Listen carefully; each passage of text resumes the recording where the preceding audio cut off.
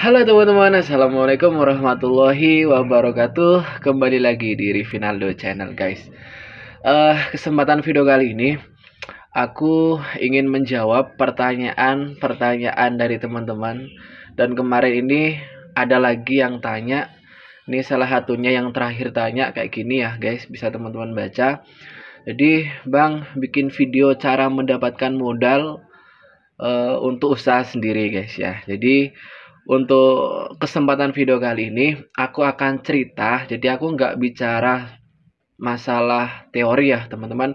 Tapi aku akan sharing pengalaman aku sendiri mulai merintis usaha dari yang terkecil ya. Dari mulai nol aku bangun usaha ini bagaimana caranya dan modalnya bagaimana. Untuk itu simak terus videonya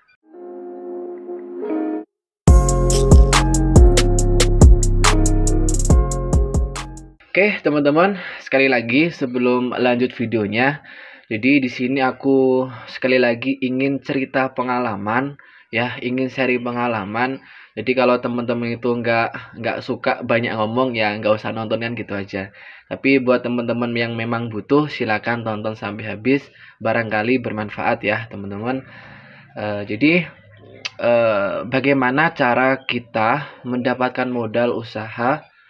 Uh, untuk bangun usaha sendiri. Ini memang kayaknya kebanyakan yang memang pelaku usaha ini bingung yang namanya modal ya, teman-teman. Tapi uh, kalau pengalaman aku ya, teman-teman, modal itu sebenarnya bukan yang inti ya, bukan nomor pertama ya tidak tidak bisa jadikan alasan yang utama ketika kita nggak ada modal kita nggak bisa usaha. Intinya itu dulu ya teman-teman yang perlu digarisbawahi. Karena kenapa? Sebenarnya kalau kita ada niat ya kalau ada niat kita mau bikin usaha apa pun itu insya Allah ada jalan ya teman-teman. Jadi ketika teman-teman ini pengen buka usaha yang perlu dipikirkan pertama kali adalah bukan modalnya, tapi bentuk usahanya seperti apa, target pasarnya itu bagaimana, kemudian uh, selesai itu baru ini kita membahas modal. Ini kalau pengalaman aku ya teman-teman. Kemudian uh, aku saranin buat teman-teman itu yang memang belum pernah membuka usaha, aku saranin ya nggak usah terlalu besar ya, nggak usah terlalu langsung mewah karena kenapa? Ya kalau kita punya modal modal banyak ya nggak masalah ya teman-teman. Tapi karena karena uh, aku ketika itu memang belajar mulai dari nol dan merintis usaha juga tidak punya modal ketika itu jadi intinya bisnis uh, usaha yang perlu kita terapkan adalah usaha mulai dari nol ya. Kita nggak usah apa ya sampai teman-teman itu uh, investasi barang sekian ratus juta atau sekian puluh juta. Bahkan semisal kita buka di pinggir uh, jalan kita sewa tempat itu nggak usah ke sana dulu guys. Karena aku juga pernah ngalamin ya teman-teman. Itu nggak bisa ya. Tapi yang uh, intinya apa? Kita perkuat pondasi uh, kita dulu guys ya. Ketika kita sudah punya pengalaman akan ada waktunya pada saatnya kita akan uh, punya bisnis yang besar ya. Jadi kita harus mau berproses kayak gitu ya, teman-teman. Nah, kembali lagi ke yang tadi ya.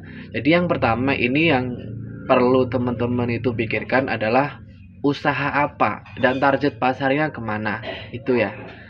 Contoh karena aku ini di sini uh, untuk yang aku jalani saat ini adalah warung kopi karena aku di sini buat uh, selalu seputar usaha warung kopi atau kedai kopi.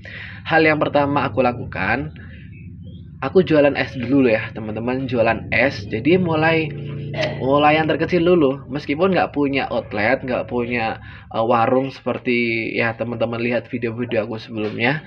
Jadi yang penting pasarnya jelas dulu kayak gitu ya. Aku waktu itu jualan es dulu, nggak langsung moro-moro bangun uh, seperti ini ya seperti yang teman lihat eh, video-video uh, aku sebelumnya. Uh, kemudian uh, dan itu pun modalnya kan mungkin nggak terlalu besar ya teman-teman nggak terlalu besar untuk modal es saya rasa 50.000 itu sudah banyak sekali varian rasa. Dan dan memang nggak bisa kita beli semua rasa tapi kita harus tahu dulu riset dulu kira-kira rasa-rasa apa yang banyak disukai. Itu yang pertama teman-teman kemudian yang paling dasar lagi bang bagaimana kalau kita nggak punya uang sepeser pun meskipun 20.000 atau 50.000 kan ini ya pertanyaannya ya teman-teman ini bagaimana caranya nah kalau aku saranin teman-teman kita jangan terburu-buru untuk nyari pinjaman atau utang lah terus ngapain bang? Gimana dapatnya? Masa ia mencuri? Ya enggak lah ya teman-teman. Jadi yang pertama kita uh, cari tahu dulu ya guys. Insya Allah kita pasti punya barang-barang yang pernah barangkali teman-teman itu beli yang sekiranya bisa dimanfaatkan untuk dijual dulu guys. Ya yang sekiranya sudah jarang dipakai dan sebagainya. Ini bisa kita manfaatkan bisa kita jual dulu. Masa dengan apa ya semisal kita sudah punya sepatu bekas saya rasa teman-teman pasti punya ya. Apalagi ya ya kaos-kaos bekas mungkin itu bisa dijual. Contoh ini ya teman-teman. Terserah teman-teman yang sekiranya itu bisa laku dijual. Kemudian itu sudah bisa ya. Masa pasti lah semua orang pasti punya barang di situ ya guys. Pasti punya barang di rumahnya. Itu untuk modal yang terkecil dulu guys ya. Jadi bisa kita manfaatkan. Kalau nggak seperti itu, yang jelas misal kalau teman-teman ini sudah uh, pengalaman kerja, ya kita sisihkan dari hasil kerja kita ya, teman-teman. Meskipun itu hanya 20 ribu, 50 ribu kita sisihkan. Syukur-syukur kita punya tabungan ya. Itu uh, apa tips dari aku untuk yang pertama modal kecil. Nah, kemudian teman-teman bagaimana kalau ingin buka usaha yang uh, kayak aku ini ini kan juga perlu bangun mulai dari pondasi dan semua bahan kan juga uh, butuh dana kan gitu ya teman-teman. Nah sekali lagi kalau punya uh, kalau teman-teman itu punya uh, apa itu punya tabungan atau punya apa simpanan itu enak. Nah jadi jangan terburu-buru untuk hutang. Dan kalaupun memang teman-teman itu mendesak harus punya usaha setidaknya kalau mau utang ini ada modal dulu guys ya. Jadi jangan 100% teman-teman itu hutang ya tapi uh, hutang gunakan kurang lebih 20% sampai dengan 30%. Yang 80% atau yang 70% itu memang modal dari teman-teman sendiri. Jadi jangan lebih uh, jangan lebih besar hutangnya ya daripada modal yang kita miliki sendiri. Karena kenapa teman-teman? karena itu akan memberatkan kita untuk membayar itu ya ini saya bicara pengalaman ya teman-teman jadi nggak bicara teori terserah mungkin teori dari yang lain berbeda tapi ya saya nggak menyalahkan karena di sini aku e, cerita pengalaman aku sendiri guys ya itu mungkin kalau teman-teman itu buka usaha sendiri yang pengennya langsung besar tapi itu tadi ya teman-teman intinya eh aku saranin yang pertama, ketika teman-teman itu pengen buka usaha sendiri di rumah, jangan pikirin modal dulu, ya. Insya Allah kalau teman-teman ini sudah pas niatnya, sudah mantap niatnya, insya Allah ada jalan kalau teman-teman itu sudah e, niat sungguh-sungguh, ya.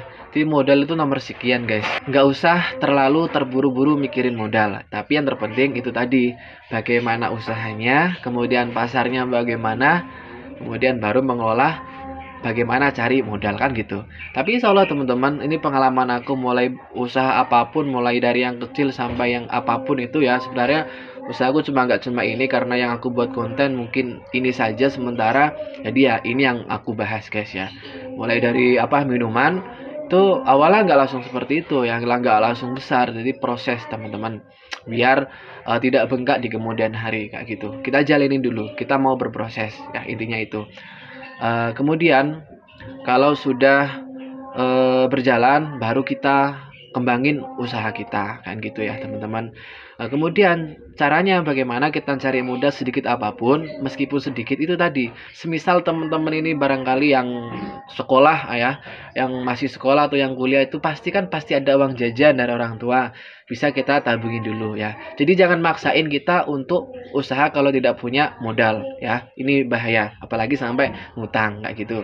Jadi kita siapkan dulu minimal kurang lebih 70% atau 80%. Selebihnya teman-teman itu bisa pinjam semisal itu darurat. Kalau tidak ya nggak usah ya teman-teman ngapain kita pinjam.